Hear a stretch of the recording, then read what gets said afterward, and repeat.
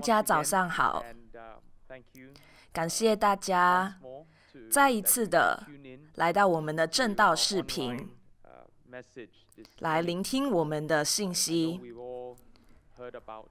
我知道呢，大家都听到了关于一个消息，是呢，我们呢现在能够有一百个人在呃敬拜场所，这是非常让人兴奋的消息。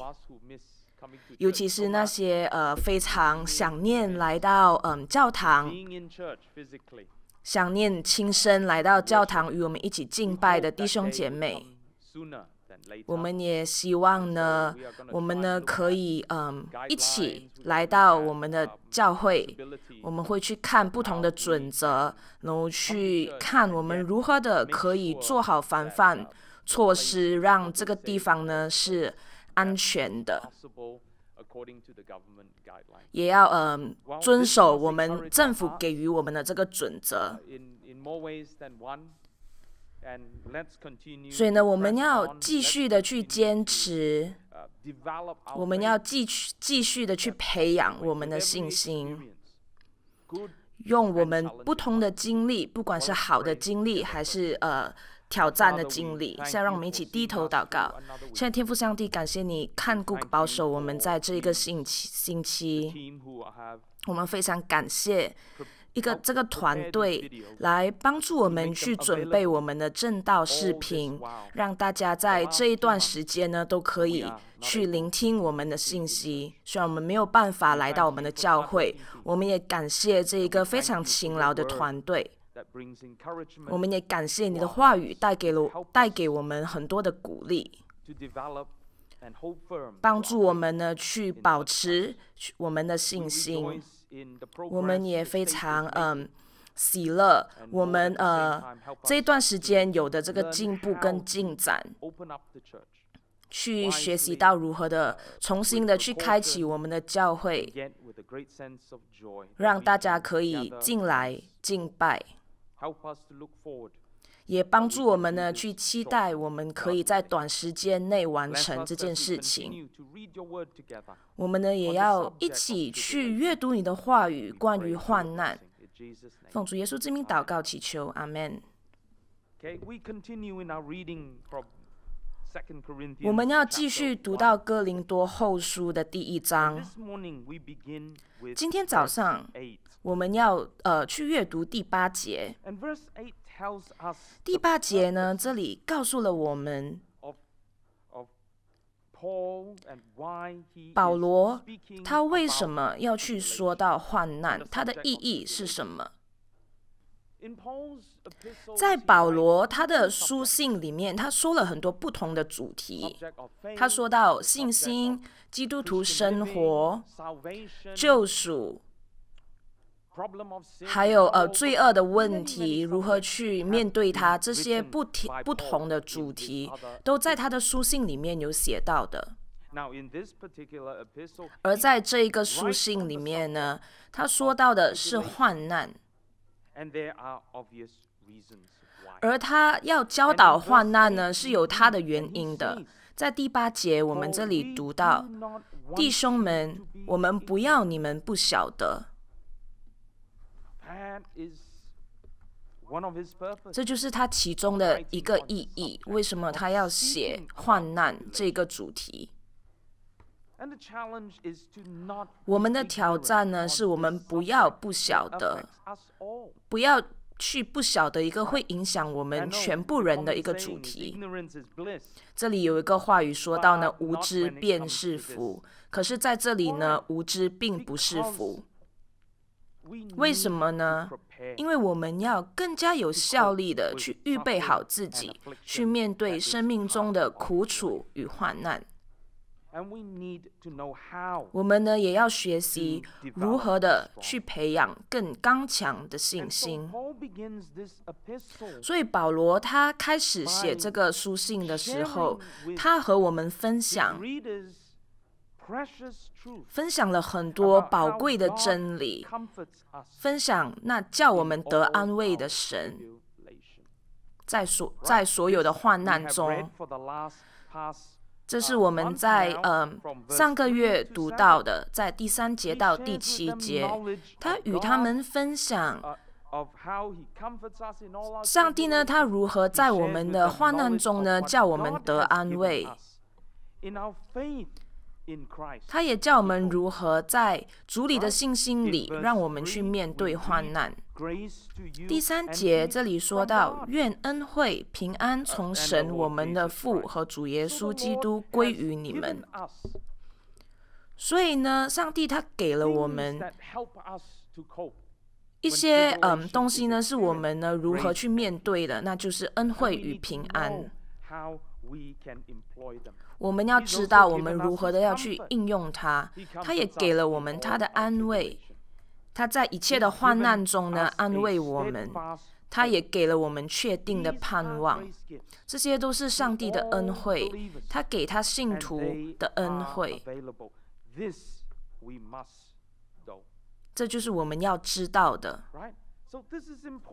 这也是非常重要的。对上帝的知识如何的来帮助我们去面对患难？不然的话，我们的信心呢就会被动摇。如果我们不晓得，知识呢也可以帮助我们培养更刚强的信心。我们对上帝的知识也会在我们亲身经历患难的时候被试验。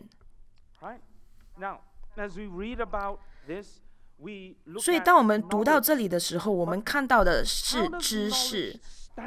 那知识如何的来帮助我们呢？当我们要亲身去经历这个患难的时候，如果没有亲身经历，那么。我们的知识就只是在理论上而已。上帝的知识可以不可以帮助我们经得起患难的这个考验？我们要继续读到保罗他如何的去，嗯，坦白的与我们分享他的经历，他如何的去亲身经历患难。他说到的患难，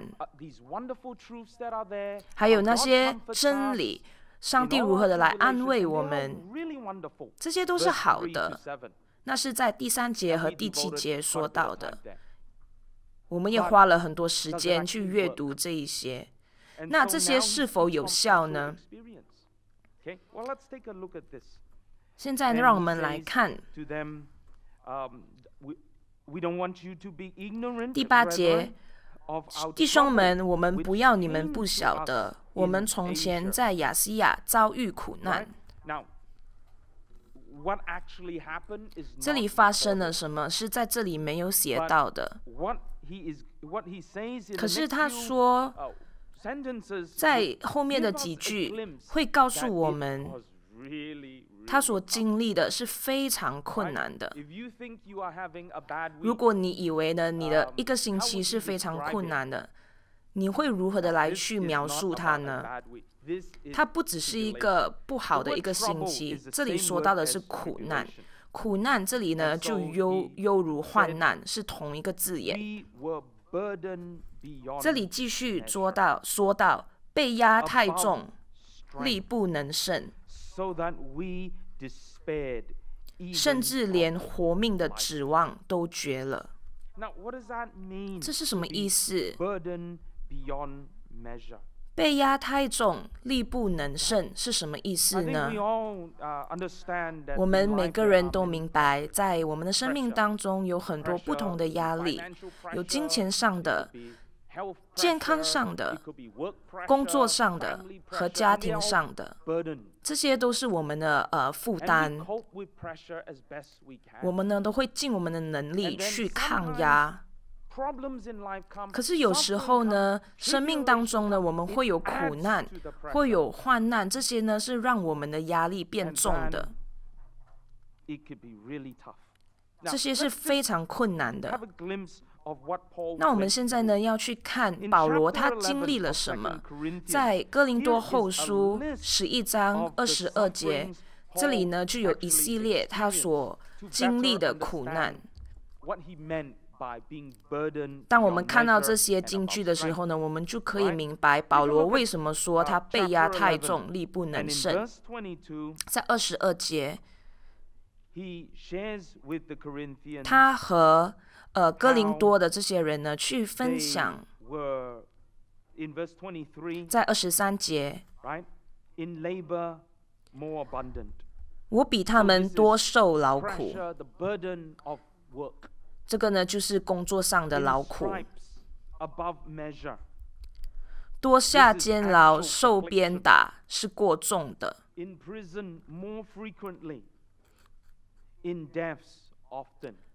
冒死是屡次有的。这里呢就是说到呢，他的生命呢被威胁。当他在服侍的时候，二十四节被犹太人鞭打五次，每次四十减去一下；二十五节被棍打了三次，被石头打了一次，遭这环船坏三次，一昼一夜在深海里。二十六节又屡次行远路，遭江河的危险。盗贼的危险，同族的危险，是非常困难的。你要活在这样的状况里，这样的危险里，多帮人的危险，城里的危险，旷野的危险，海中的危险。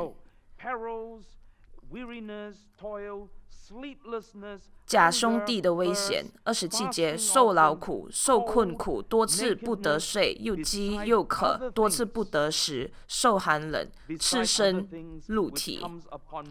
除了这外面的事，还有为众教会挂心的事，天天压在我身上。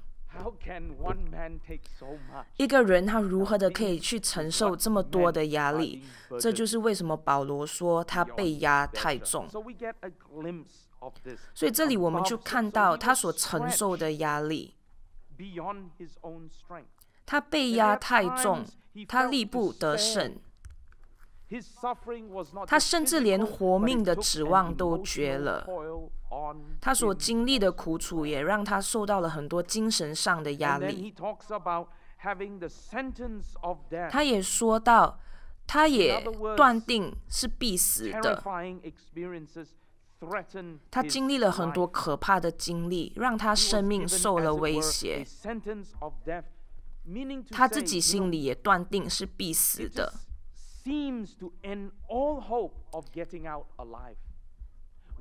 这让他连活着的指望都绝了。尤其当你知道审判已定，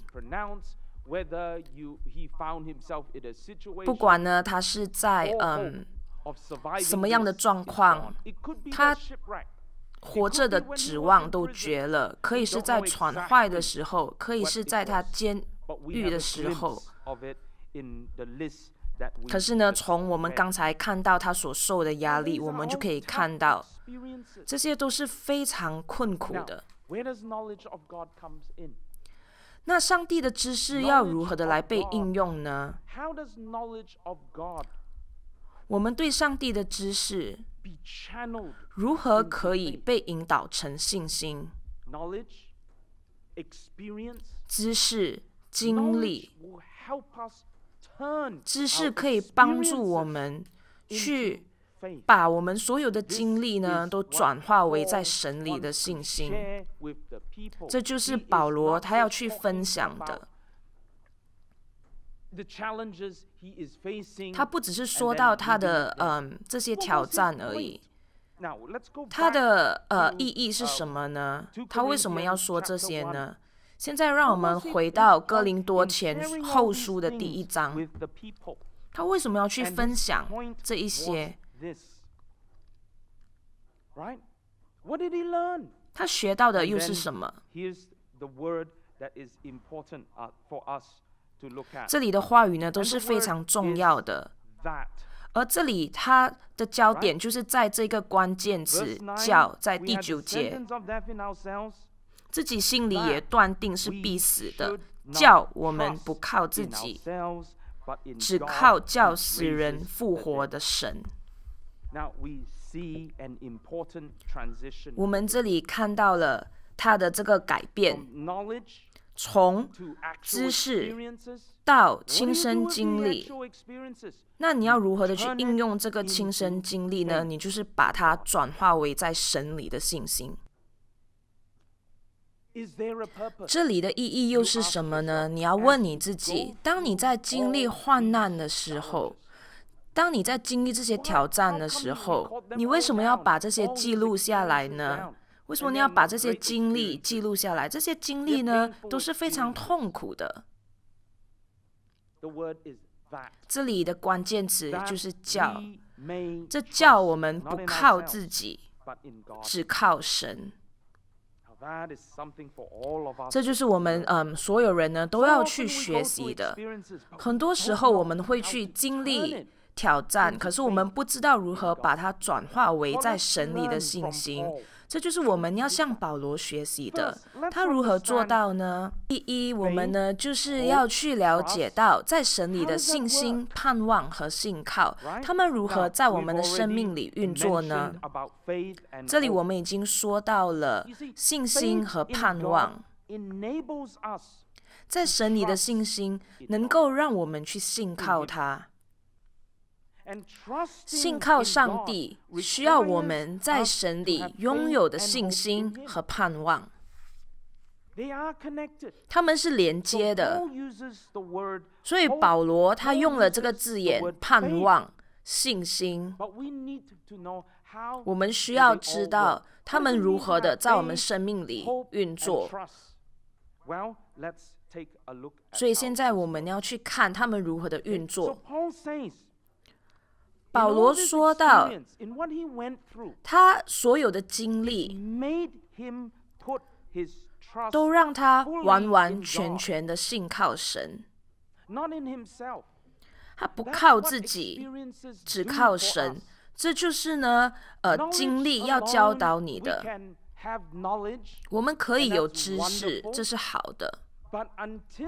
可是直到我们亲身经历。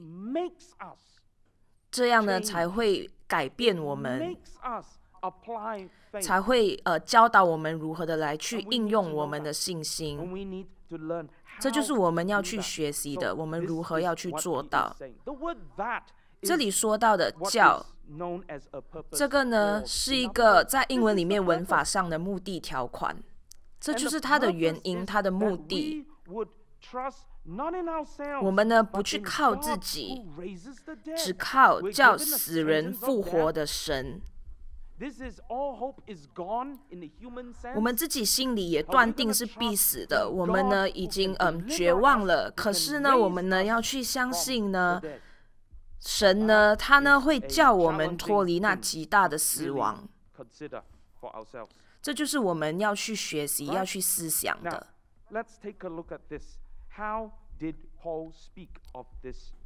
那保罗他如何的来去诉说到这这个信靠这个指望呢？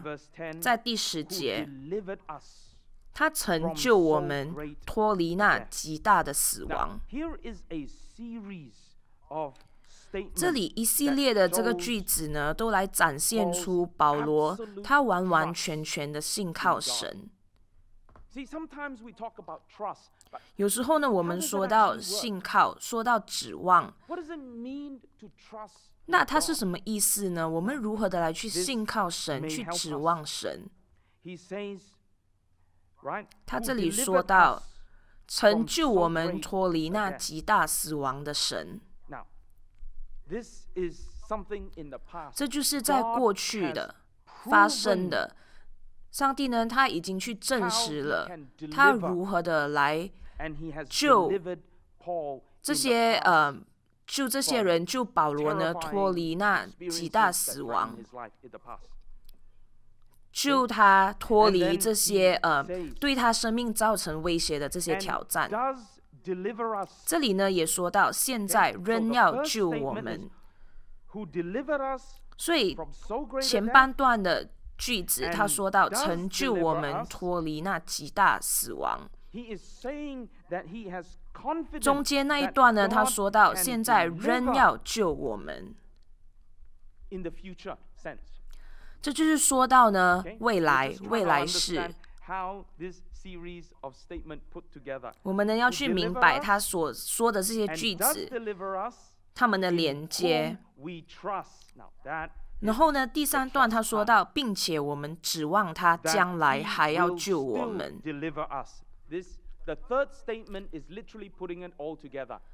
第三段呢，这里呢就是把一切呢都连接起来的，那就是如何的来去应用指望。我们看到上帝在过去所做的，他救了他们脱离死亡，现在仍要救我们。然后呢，我们要指望他将来还要救我们。这里呢就把以前的经历。现在的经历连接起来，然后呢，你就去面对你的未来，用这样的一个信心、这样的一个指望去面对你的未来。我们要把焦点放在“指望”这个字眼，这是非常有趣的这个字眼“指望”。指望这里呢，在希腊文里是口头上的，嗯，他们用的那个呃字眼就是盼望。在第七节，我们这里呢读到，我们为你们所存的盼望是确定的。这里说到的是盼望这个名词，而这里呢说到的是指望。我们指望他仍要救我们。我们知道在英文上，我有希望，我正在希望。我们用“正在”这个字眼的时候呢，我们就知道这是指望的意思。与其用“我正在盼望”，他用了这个字叫“指望”。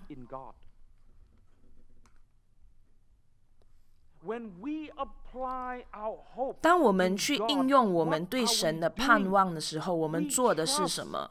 我们做的呢，就是去指望上帝。我们看到了他曾救我们脱离那极大的死亡，我们呢也要有这个盼望，知道他现在仍要救我们，并且我们指望他将来还要救我们。保罗他是一个非常有技术的一个呃作者，他教导了我们如何的来去应用信心、盼望和信靠和指望。这里呢说到的指望还有盼望。他们呢是呃用了完成式的这个文法，他不是说到现在式，不是说到过去式，也不是说到将来式，他用的是完成式。这里保罗所要表达的是这样的一个信靠，这样的一个指望，不是一时的，不是只是现在而已。而这个指望呢，是嗯，是在过去，他对上帝的知识，还有对上帝的信心和盼望里呢建立的。这些呢是在过去建立，然后在现今、在未来呢都会非常坚定的。这就是我们呢要去培养的信心。透过知识，透过经历，如何把它转化成信心？这就是我们要不断去练习、不断去学习，直到这个信心、这个盼望都被建立起来，在对上帝的知识里建立起来，然后让它更加的完整。这样的一个信靠呢，不是呢，呃，让我们三心两意，我们要相信还是不要相信，而是我们呢决定了，我们要去相信的这个神，在过去他已经呢救了我们，而在未来我们要持续的去呃相信他，不论如何发生什么事情，我们都要去信靠他。这就是保罗他所要表达的。他曾救我们脱离那极大的死亡，现在仍要救我们，并且我们指望他将来还要救我们。而保罗呢，他也继续的去应用这里所说到，在第十一节，他呢这里呢去嗯记得了这些为他祷告的这些信徒。他不是说到我有一个强大的信心，而是呢，他也说到了这些为他们祷告的这些人。他知道了上帝，他认识了上帝，他要继续的去信靠。他呢，曾经呢被压压力大的，他非常的痛苦。可是他如何的来被受到鼓励呢？答案就是上帝，因为上帝成就了他，仍要救他，也会给他安慰，给他恩惠。他也非常感谢那些以祷告帮助他的人。在十一节，你们以祈祷帮助我们。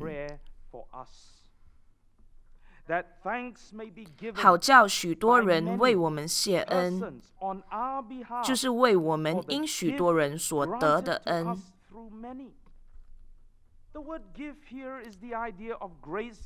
这里所说到的恩是谢恩，是上帝的恩惠。上帝如何来给予我们嗯？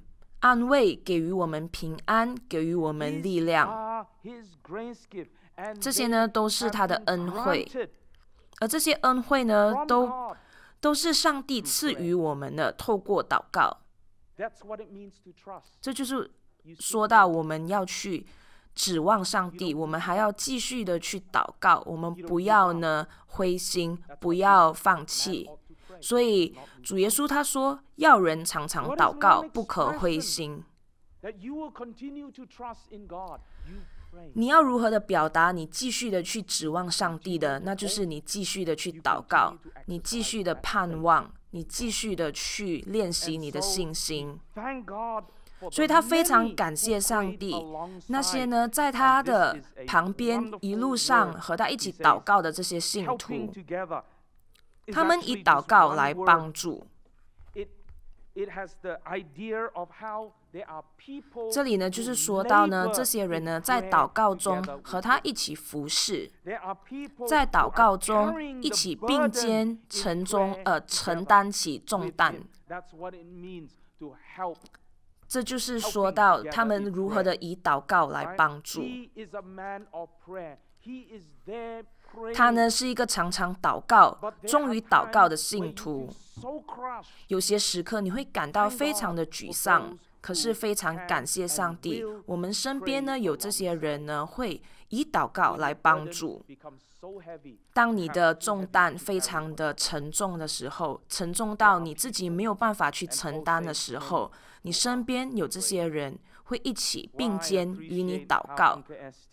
我非常珍惜 Uncle S D，他会呃时不时的与我更新 Andy Grace 的这个状况。他呢是一个非常注重细节的一个人。他呢那时候 Andy Grace 呢在交互病房动了手术，然后直到出了交互病房，他会他都会与我更新他的状况。而当我知道这些状况的时候呢，我会并肩与他一起来祷告，因为你感受到他的负担，他是你的弟兄，你感觉到他的重担，所以这就是我们如何的要来去练习我们的信心，这就是为什么我们要去信靠上帝，要继续的向他祷告。我非常感恩那些一路上一同祷告的这些信徒。这就是保罗他所说的，他非常感恩，感恩呢，呃，这些人与他一起祷告，而我们呢，也要非常感谢上帝，我们心中有这个平安，我们呢还可以呢去祷告，我们呢也不会去灰心，我们要非常感谢上帝。被压太重，力不得胜。我们呢要把这些非常痛苦的这些经历转换成信心。我们要去应用我们呢对上帝的这些知识，去知道他会安慰我们，去告诉我们自己，他呢成就了我们，仍会救我们。我们也要去指望他将来还要救我们，这就是我们的挑战。我们的挑战就是，当我们呢去经历，不管经历什么样的经历都好，我们呢都要把这些经历转化成信心，一个更加深的信心，更加刚强的信心，更加建立起来的信心。那我们这个早晨，我们在阅读这个京剧的时候，我们的挑战是什么？第一，我们要继续的去专注于培养我们在上帝里的信心。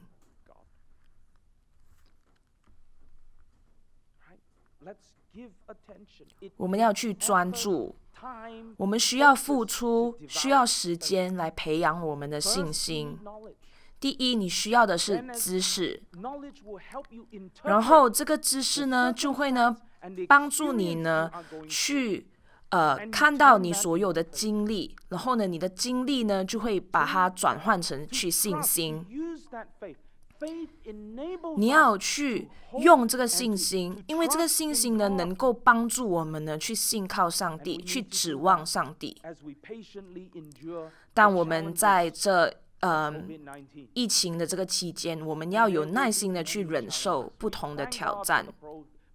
我们非常感谢我们呢所有的进展，但我们不可以忘记，我们不可以忘记新冠病毒它的案例，他的死亡案例也不断的在增加，总案例已经有六百万了。死亡案例也将近了五十万。我们住的不是一个孤岛，我们是和全世界紧紧相连在一起的。我们非常感恩在这里，我们没有案例，目前没有案例。可是呢，我们呢还是紧紧相接在一起的。我们要去关心。当我们呢呃呃开启我们的国家的时候呢，我们呢还要去对抗的。对抗这些病毒，我们不要用惧怕的心去对抗，而是用在主里的信心去对抗。第三，我们呢要在经历这些困难的时刻。我们要为彼此带祷，我们要和彼此坦诚的去分享，去分享我们如何的来去，呃，信靠上帝，指望上帝。对于老人、年轻人还是小孩都好，我们都要一起去，嗯，为彼此带祷。我们要负担起彼此的责任还有重担，在这个困难的时刻为彼此带祷。第四呢，我们呢要感谢上帝，因为我们是一部分，我们是这里的一部分。我们感谢上帝呢回应祷告，我们也感谢上帝聆听祷告，因为这个呢会在我们的信心里呢给了我们一支强心剂。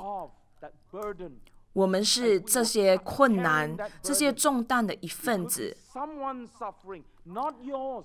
也许是别人在受苦，不是你的受苦。可是呢，你去与他们感同身受，你进入到他们的悲痛，你进入到他们所要承担的这些重担，你与他们一起并肩的去嗯带导，这就是一个教会，一个教会应该就是这样子的。我们会相信上帝，我们会盼望，会指望他，我们会祷告。